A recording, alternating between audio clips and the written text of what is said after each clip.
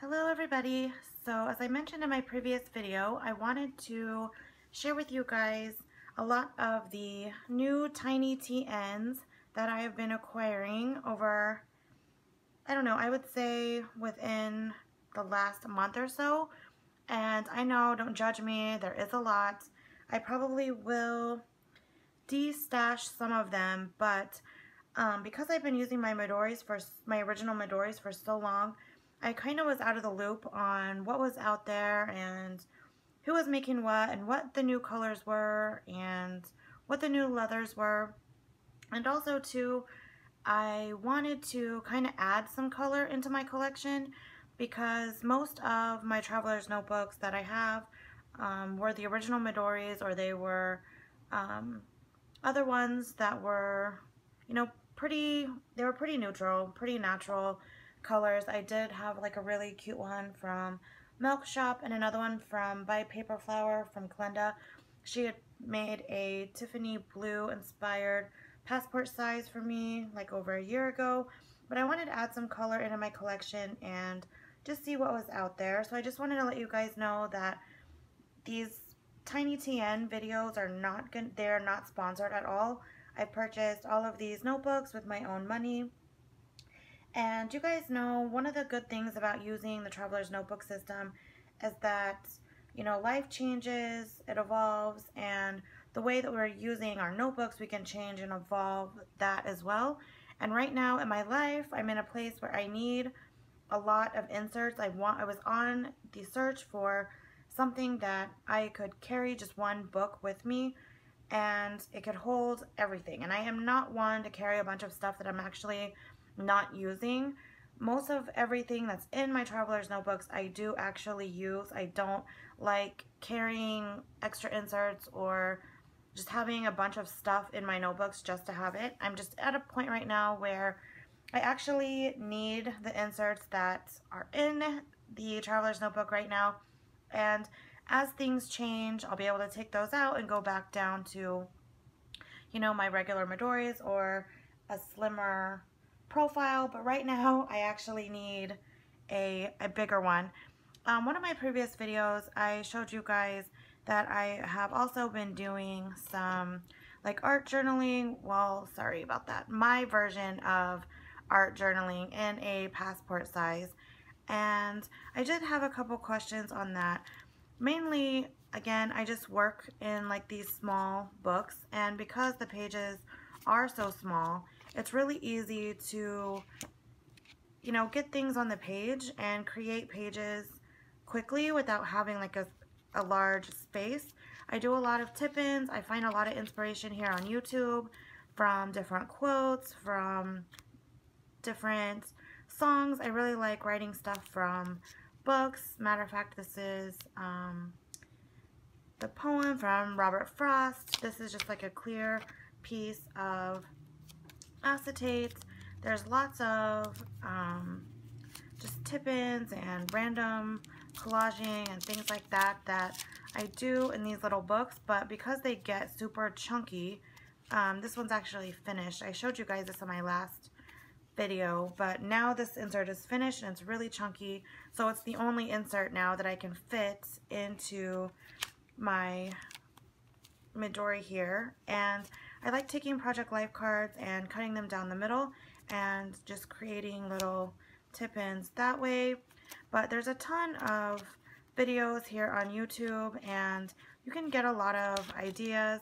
I actually started painting um, flowers with watercolors from Made with Crafters. Um, really easy tutorial.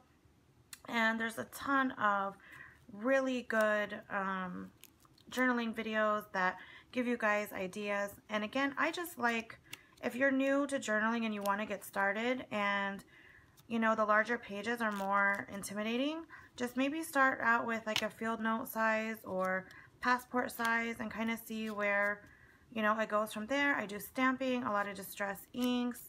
I do, like I said, a lot of tip-ins, a little pullouts. Um, I like writing on craft paper with like a white gel pen.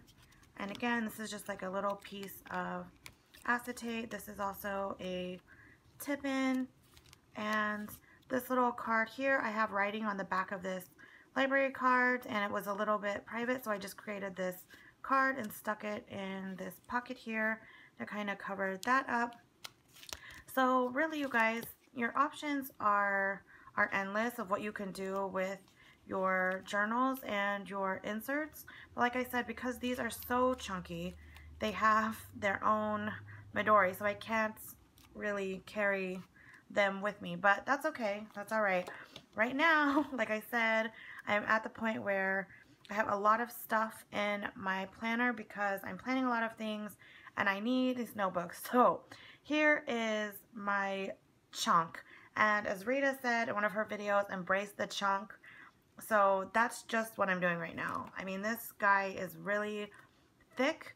This notebook is from Buteo Bunker. I'm going to be showing you a lot of notebooks from Buteo Bunker today because I actually have all of them. I don't have some of the other ones that I have coming, but that will come in video two.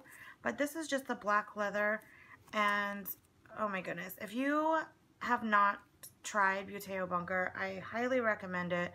They are extremely affordable. They have excellent customer service. The turnaround time is awesome. Honestly, I cannot even say enough about their company. They are awesome. They are on Etsy. I will link everything down below. But this is what I'm using right now. I change up my notebooks all the time. I showed you guys a setup video and I had everything in my camel. And I've had to, um, like I said, add some things. I did make a few changes. I actually covered my inserts and that is something that I have not done in a while. And I don't know, I just wanted to change up the look of things a little bit. So that is what I did. And I just wanted something new to look at basically. So I just covered some of my inserts and that is what everything looks like right now. And I apologize, the lighting is getting really bad. It's really overcast today and it's getting dark. So I will definitely hurry up. But this is the six to seven ounce leather from Buteo Bunker. And I had it dyed um, black with black elastics. And this is in the passport size with ample overhang. So that is that one. I totally understand why people are so obsessed with the A6 size. This is actually my first A6 I've ever purchased. And this is also from Buteo Bunker. And this is the 6 to 7 ounce undyed leather. And if you guys could feel this, I cannot even tell you how much I love this notebook. The hand feel of it is amazing. It's just really soft and smooth and I love it. The inside feels like suede and I mainly purchased this for my Hobonichi. And one thing I also want to mention about Buteo Bunker is that when you order a notebook from them, they always include a like an insert inside in whatever size that you order. It is not the same quality as the inserts that you purchase. So I wanted to make that clear. So this is just like a, it's free. So I mean, this is just like printer paper and they stapled it and they have like a cover.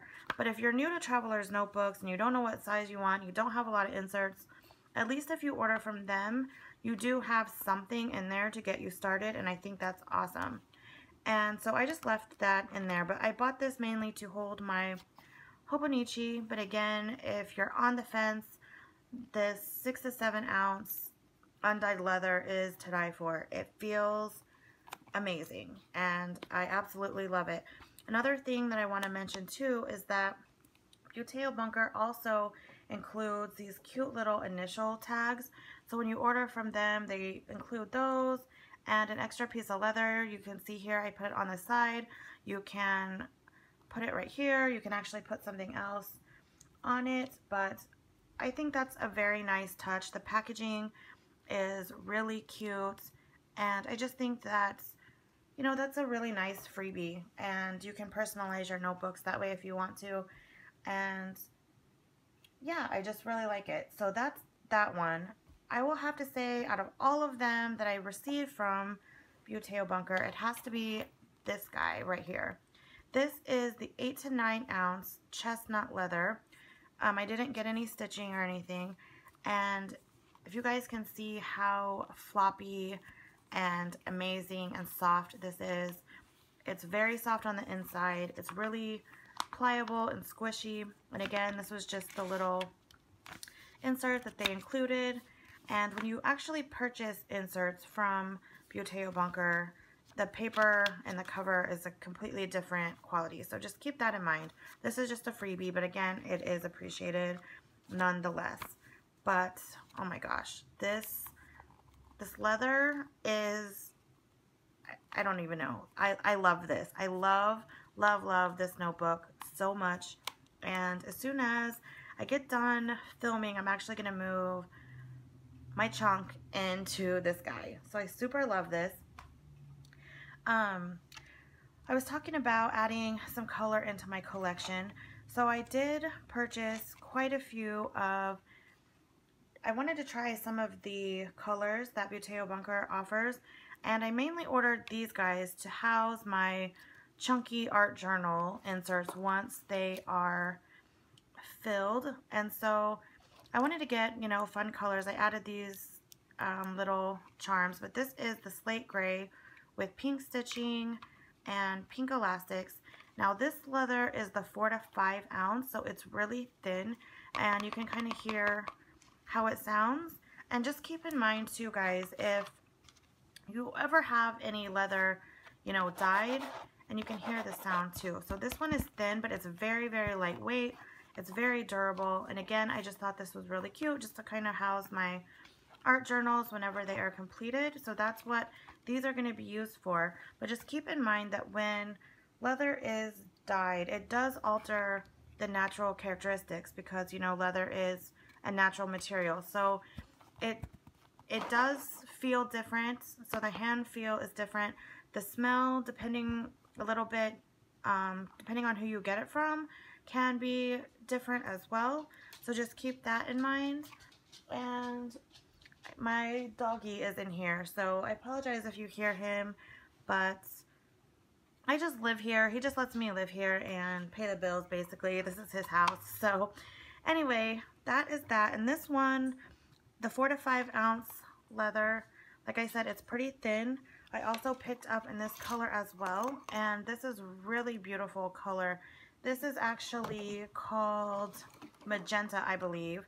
And you can compare it to the fuchsia. The fuchsia is definitely more pink. The magenta has a purple tinge to it, I guess you could say. And this reminds me of my favorite, one of my favorite J. Herbin inks. And I just really liked it. And again, I just added a couple little charms because these are going to be housing my art journals. They stay at home. For the notebooks that I actually carry with me that I use all the time, again, on my traveler's notebook journey and my evolution, I found that I'm not one to really like a lot of things like hanging from the bottom or even on here or on the side. I don't have I don't have like a lot of really big bookmarks and tags and ribbons and stuff that a lot of people have and it looks beautiful. It it's really cute, don't get me wrong. But for me personally, that stuff kind of gets in the way. It gets hung up on stuff in my bags.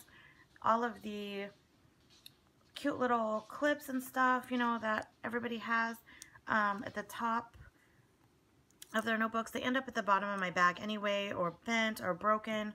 And so now I just like to have things, you know, pretty functional and pretty sleek and you know, if I want pretty, I can always decorate the inside. But um, anyway, keep going because I know my family's going to want to eat dinner soon. So those two are the 4 to 5 ounce leather. And this is also done in slate gray. And I just love this color. This leather is the 6 to 7 ounce. And as you can see, it is thicker than the 4 to 5 but again, too, if you notice, if you compare it to the A6 leather, which is the same thickness, you can tell that this dyed one does not appear as thick and supple anymore as the undyed. So I just wanted to let you guys know that. I also love this color as well. And this is indigo. I haven't done anything with um, this guy yet.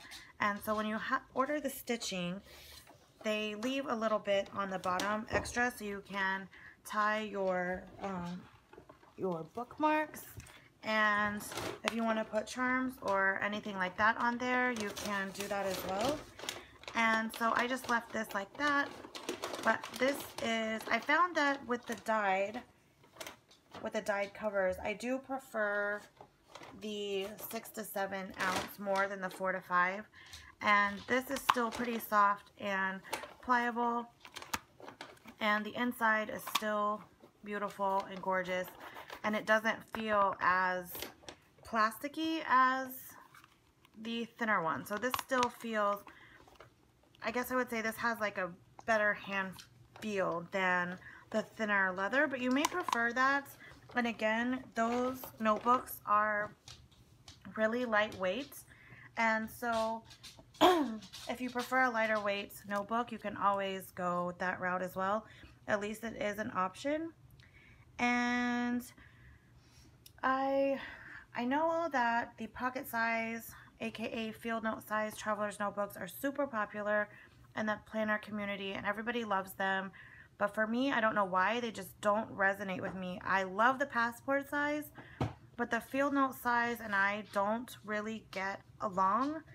And I've come to the conclusion again, and this is from using traveler's notebooks for a long time and using different inserts. I am a Midori insert girl, bar none, hands down. I am not one of those people who like having a lot of like fold outs and complicated trackers and don't get me wrong, there's some people out there that you know, purchase these inserts and they're beautiful, they're good quality, they're well done from Etsy sellers. And they do really well with them. Me personally, I don't. And I've just figured that out from trial and error, just trying out different inserts with different notebooks, different sizes. I don't, I found out that I don't really like field note paper. And because I like using my fountain pens. And I'm super stoked because you know, Midori came out with a lightweight paper for passport size. So I am definitely found my jam with that. And again, um, people like different things and there's a ton of options out there. So everyone should be able to find something that definitely works for them. I do use one field note size notebook and this one is from Chic Sparrow and this is the Outlander in Jitney Red.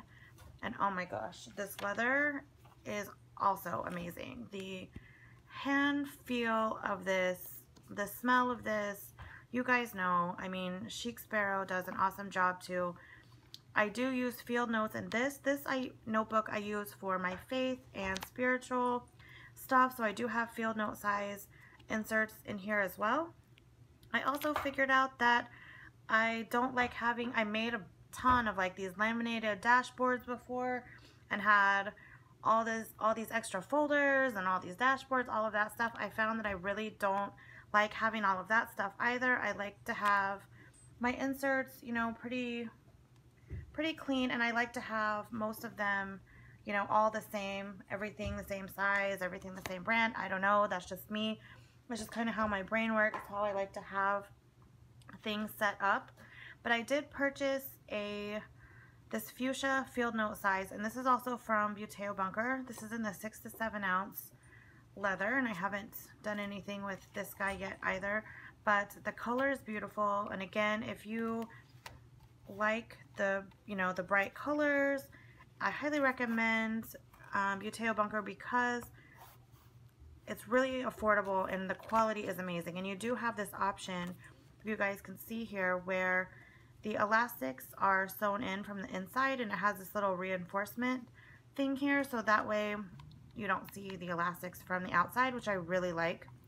And this is an insert from Buteo Bunker actually and it's a storyboard and if you can hear this paper it's really slick and smooth and thick very good quality so this is the fuchsia if you guys are interested in that And, excuse me, the last passport size I purchased from Buteo Bunker is in the 6 to 7 ounce undyed leather with lilac elastics. Again, I'm just in love, in love, in love with this leather. It has to be my favorite by far. And I will show you guys one that I've had for a long time.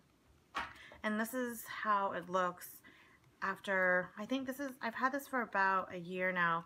And you can see how beautiful the leather is and how it's patinaed.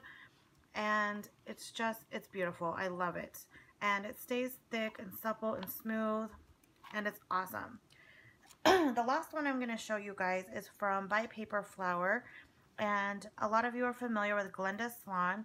And she makes custom notebooks. And she does unique designs like nobody else. And I super love her stuff.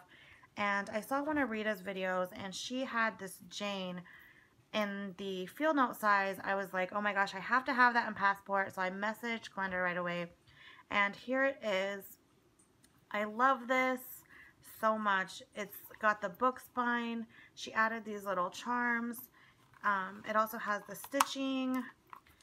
There is the inside pocket set up. I love it. There's a big pocket here behind the secretarial pocket plus the pin loop. And this is amazing. I also have a two more on the way from her, a custom one that her and I are working on, and also a Pride and Prejudice version of this guy. And then I also have three coming from Speckled Fawns. I was hoping to have the first one here by now to show you guys in this video, but it's okay. At least I'll have some stuff to show you guys in the next one. But anyway, um, I did have a question before about leather and, you know, the variances and how do you pick leather and the quality and all of that stuff. And honestly, again, you know, leather is a natural material and it is going to vary. I mean, it, it just is. And I have a lot of respect and a lot of reverence toward the leather and the animals. That's just, I mean, that's just me. I'm just saying, I'm just speaking from my heart and for myself. And, um, it doesn't bother me because I know that leather is going to look different. It is going to feel different. When we add stitching and we add pockets and the notebooks get thicker, when we add dye to them, yes, it is definitely going to change the natural characteristics of the leather. It's just something that, you know, does happen. Of course, we all have our preferences as far as aesthetic goes, er, aesthetics and hand feel and all of that, and I totally, totally understand that. I totally get it. Um, for me, each one is unique. They're all special. Like I said, I have a lot of respect and reverence for the leather and, you know, I do expect differences. It is going to happen. It, it is something that, you know, natural scarring and, you know, scratches and dings and dents on leather is definitely going to happen. For some people, they love that. They love how it becomes more rustic with wear and then other people like things to look more pristine. Um, one of the things that you can do is when you are ordering from someone, if you prefer a specific texture or a piece of leather, you know, let the seller know that. Like if you prefer something that's more smooth and less textured, you can do that as well. And that way you won't be really shocked or disappointed once you receive your notebook. And I will just say too another thing is that, you know, if I show a notebook or something here on my channel, it's because I love it. I love the artisan. I love the seller. And I have nothing but good things to say about them all the way around. I have had negative experiences before.